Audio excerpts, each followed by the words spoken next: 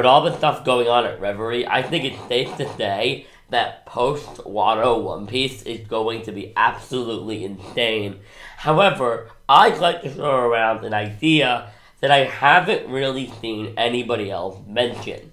The idea that post Wano, we will see a team up and alliance between the Straw Hat Pirates and the Red Haired Pirates. But to do that, I think the first thing I need to do is explain why I think Shanks would even be interested in forming an alliance with Straw Hat Luffy in the first place. Well, the goal of the alliance would obviously be to take down and deal with the threat of Blackbeard. Now, I know some people think that if Shanks wanted to deal with Blackbeard, he would just do it on his own, but my question to people who believe that is, then why did Shanks not do that years ago?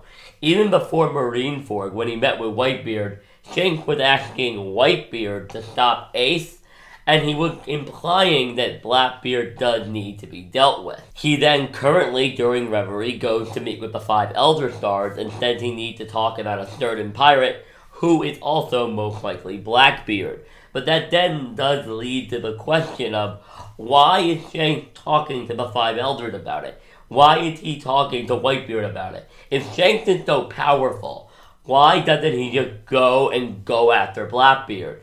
I think the obvious answer is Shanks probably doesn't think he can beat Blackbeard.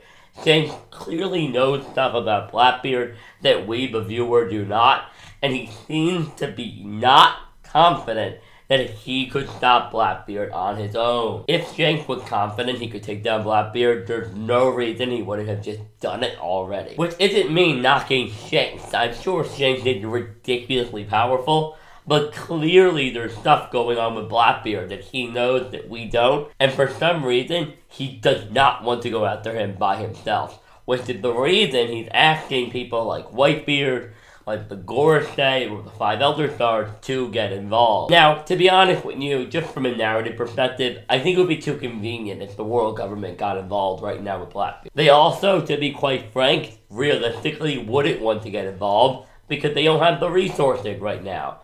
Not with them hunting the warlords, not with the fall of Big Mom and Kaido and Wano, not with Straw Hat Luffy being close to obtaining One Piece, and with whatever happened during Reverie involving Vivi and Sabo. As I mentioned earlier, they're also hunting down all the former warlords, which include characters like Mihawk and Hancock, which isn't just gonna be easy to do, especially taking Amazon Lily, which may even, in terms of fighting force, require more forces than taking down Mihawk because Mihawk is just a guy. Amazon Lily is a full-on invasion of a well-defended island with its own defense force and army. This is also ignoring all the theories involving something going down with Alabasta, a possible buster call, them potentially going after Vivi and Cobra. So assuming the world government says no, and assuming Shanks is on a timer now, I don't think he would be going to the world government unless he was running low on time and felt like it needed to be dealt with immediately. In which case, if the world government said no, would be a question of, I guess, the Revolutionary Army, who seem pretty preoccupied at the moment, Shanks' best alternative would be the crew that just took down Kaido. Luffy is also, at this point in time, a great pirate. I'm sure Shanks and Luffy are both able to meet at this point on equal footing. So, without any other options, because I do think Luffy would be a last resort. He's not as powerful as, say, the world government or the Whitebeard pirates were,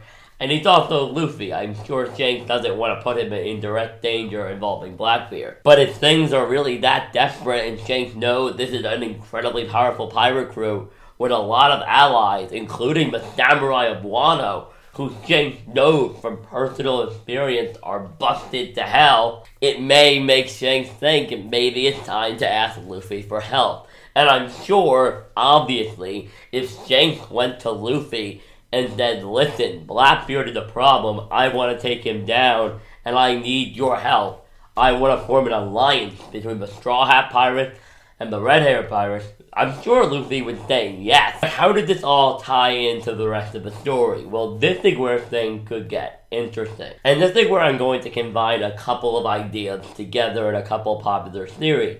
One, that the island the Straw Hats are going to go to after Wano is Elbaf. It's entirely possible that that is where the final road poneglyph is, and perhaps Shanks' goal is to go there with Luffy and work to prevent Blackbeard from getting it. Perhaps Blackbeard has discovered that the missing road poneglyph is on Elbaf, and maybe his plan is to go take the final road poneglyph from Elbaf and then go after the Straw Hat. And maybe Shanks is like, enough is enough.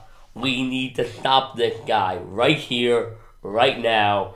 So maybe we could get an arc where the Straw Hats and the Red Hair Pirates adventure together on Elbaf. And they could go on a separate non-Blackbeard related adventure together on Elbaf involving getting the road poneglyph and maybe some problems the island is having. And then like at the end of the arc, Blackbeard shows up. And then the arc could go a million ways.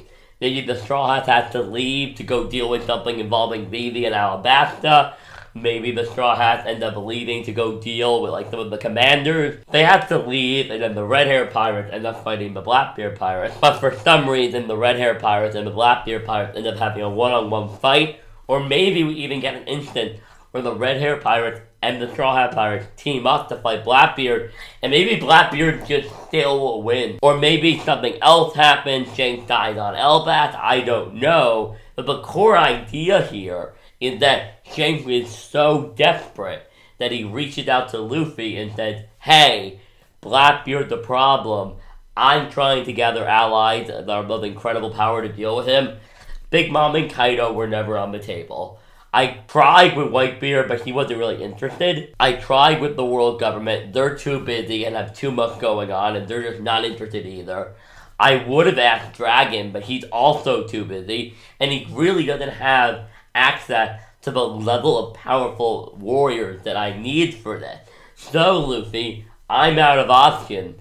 I would like to form an alliance between the Straw Hat and the Red Hair Pirate, and then we get the team up arc that I kind of described earlier, or could go off in a completely different direction. One thing that could even happen is Shanks could say, help me deal with this, help me do these things, and I will give you the final road poneglyph. Maybe it's like Shanks has it, and he's like, listen, Luffy, I'll give it to you scot free if you help me with these things. We're two pirates, we're in an alliance.